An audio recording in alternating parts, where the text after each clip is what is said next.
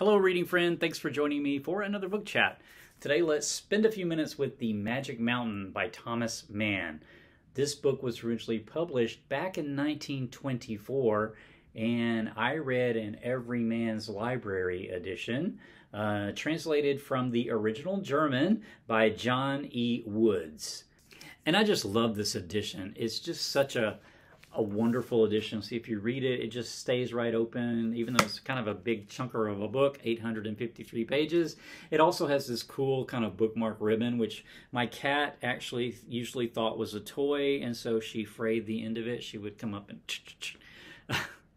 bat it. Um, but yeah, it's just this is such a great edition, and I read this Everyman's edition of um, Everyman's Libraries, Everyman's Library edition of Joseph and His Brothers as well. Highly recommend this edition.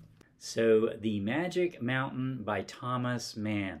I wanted to read this because um, a few years ago I read Joseph and His Brothers by Thomas Mann, which I loved. I've read um, Death in Venice and Seven Other Stories, a collection of short stories by Thomas Mann, which I also loved. And, you know, this book was also mentioned in Norwegian Wood, which I chatted a while back. So, um, yeah, it seemed like that this book was kind of calling my name to get read. It was kind of a chunker, so it was a significant time investment, but well worth it because, you know, nobody really can write like Thomas Mann. Just really, uh, really a literary artist at the top of his game here. So, um, what it's about is set in a sanatorium in Switzerland in the years prior to World War One.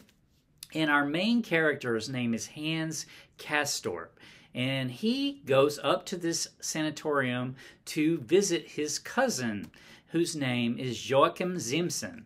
So Joachim is um, they're around the same age. They're in their early, I think, earlyish twenties at the time the book opens, and Joachim is um, wanting to a career in the military. So, but he has these lung issues, so he's been sent to this sanatorium to heal. And so his cousin Hans is um, about to start an apprenticeship, I think um, or a career anyway in really engineering. And um, he before, but before he sets out on that path, he decided to go for this what was going to be a three week visit to his cousin to see his cousin at the sanatorium. Well so he winds up staying quite a bit longer because the thing that goes on at this sanat- what goes on at this sanatorium is basically when you get there, you find out you might not have realized it, right? But you find out you have some kind of illness, and that is a recurring theme throughout really the whole book, where these groups of people, um, you know, this collection of people in this sanatorium, the characters kind of come and go, but they all have various complaints, mostly lung type complaints, um, and and they wind up staying months or even years in some cases. And then sometimes, you know, they pass away. So our main two characters, at least through most of the book, are Hans and his cousin Joachim. They're sort of pals.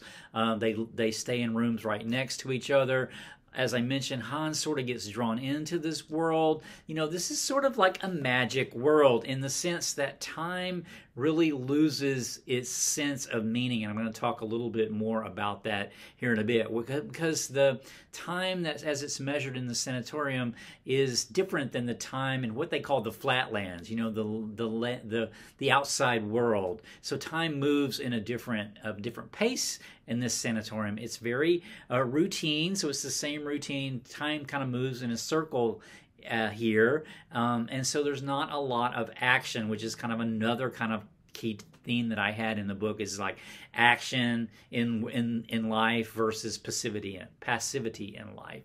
So I'll talk more about that too here in a bit.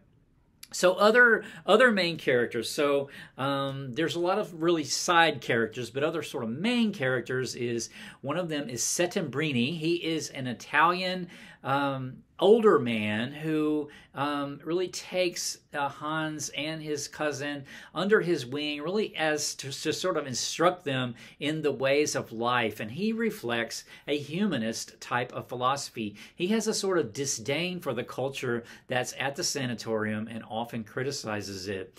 But eventually, he uh, sort of becomes a dual in, in sort of a duality with another character whose name is Naphta. Naphta uh, started out as a Jewish person, but who converted to the Jesuit order um, and then ended up with with you know a lung issue, and so wound up in this sort of resort town or this sort of uh, sanatorium town. He's not actually in the sanatorium itself, but in the village that's associated with the sanatorium. He and Settembrini ultimately share. Um, they don't share a room, but they they live in a boarding house uh, or they share rooms a rooming space uh, together. And they're sort of at these sort of odds all the time. They argue all the time. They literally argue all the time. It's actually pretty funny in a lot of cases, but it does get serious in some points in the book. But Naphta represents a different sort of world order, sort of an anti humanist world order sort of more revolutionary, more authoritarian, really more. So, whereas Settembrini represents sort of the rational, enlightenment, humanistic uh, world of sort of reason and philosophy, um, Naphta represents sort of the opposite of that, which would be more like authoritarianism, more religious, uh, you know, conservative as far as authority coming from an, an upper, a, a, source higher than human humanity, um, you know, and so as Settembrini, the ultimate, sort of the ultimate um, authority would be humans themselves, whereas in Naphta's view, it would be, you know, God or basically religion, actually, like the church, like organized, um, that sort of structure. So these two argue all the time, and they, they really vie for the attention and to make points with the younger um, uh, Hans and Joachim to try to convert them over to their worldview. Then there's some couple of other sorts of, of things going on. The main characters. One is Claudia, Claudia Chauchat. So she is um, a woman that's at the sanatorium that Hans becomes intrigued with. Hans, in his earlier life, had had a really, um, I guess his first love or his first sort of crush was this boy. And when he was in school, when he was younger, that he had a crush on and was very hesitant to talk to or whatever, but ultimately borrowed a pencil from. And this borrowing of the pencil from this boy was sort of the highlight of his life at that point. Well, Claudia actually looks like this boy and reminds Hans of this boy, and he develops a similar type crush on her, and actually ultimately does also borrow a pencil from her eventually. She actually leaves the sanatorium at one point, but then she returns with a man. The man's name is Meneer Peperkorn, and he is a Dutch um, businessman who has developed a tropical disease and um, is at the sanatorium. And he sort of represents this worldview of pleasure seeking, really like uh, eat, drink, and be merry type of person, right? You know, an overindulgence actually um, uh, is his is his philosophy. So, just some thoughts and impressions. And I mentioned already illness and death. And so, illness and death, I think, portray it's portrayed a lot in the in the book. Hans spends a lot of time thinking about this and studying it. Even he winds up buying some medical books just so that he can learn more about disease. But you know, one good way to illustrate life, health, and life is to study and reflect on illness and death. And so that theme runs throughout the book. And then the other one is time. It's talking about how time can be different. It can be viewed differently. And as I mentioned, time is runs differently at the sanatorium than it does in the flatlands, you know, the outside. And the quote says, we know full well that the insertion of new habits or the changing of old ones is the only way to preserve life, to renew our sense of time, and thereby renew our sense of life itself. Time is life itself. Um, I think that's such a cool quote. He does eventually in this book. It's also talked about how music, time is music. So music, if di- music didn't express time, it would just be one chord at the very beginning, and there would be nothing else. But music, you know, flows through time. He talks about how painting, painting is a moment in time, captured in time time has stopped in a painting, right?